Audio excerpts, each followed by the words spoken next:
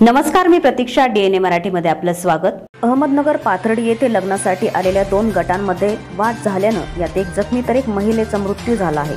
या प्रकरणी पोलीस ठाण्यामध्ये गुन्हा दाखल झाला असून दोन जणांना पोलिसांनी ताब्यात घेतलंय. पाथर्डी तालुक्यातील कीर्तनेवाडी येथे लग्न समारंभासाठी आलेल्या कुटुंबाचा बडेवाडी येथे दहाव्याच्या कार्यक्रमात शहादेव घायतडक आणि बाळासाहेब शिरसाट यांच्यात किरकोळ वाद झाला होता. याचा राग आल्यानं कीर्तनेवाडी येथे सुरू असलेल्या लग्न समारंभात शिरसाट आणि कीर्तने कुटुंबात वाद झाला. हे भांडण सुरू असताना सुशिला कीर्तन या भांडण सोडवण्यासाठी गेल्या असता शुभम घायतडक याने त्यांच्या डोक्यात लाकडी दांडक्याने मारहाण केली. यात त्यांचा जागीच मृत्यू झाला आहे.